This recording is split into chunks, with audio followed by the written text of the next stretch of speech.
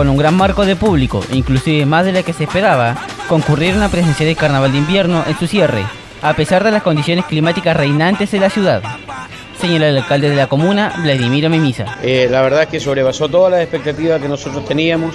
Yo quiero agradecer la contribución de nuestras Fuerzas Armadas, de la Armada de Chile, del Ejército de Chile, de la Cruz Roja, de la Defensa Civil, del Radio Club, de nuestros funcionarios municipales, de la empresa privada, de los colegios, de las universidades, de la Junta de Vecinos, de los adultos mayores.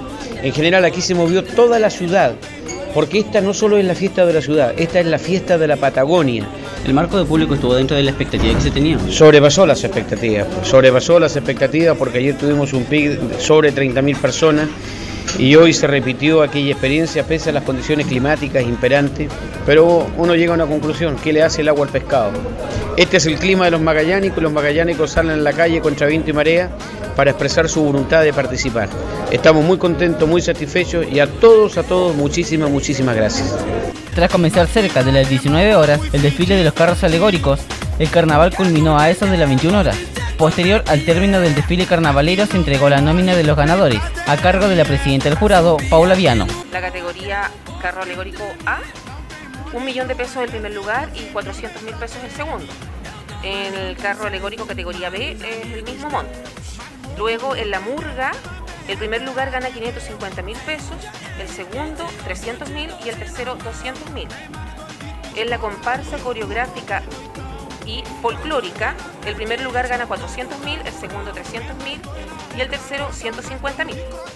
En la batucada, el primer lugar gana 300.000, el segundo 100.000 y el tercero 50.000.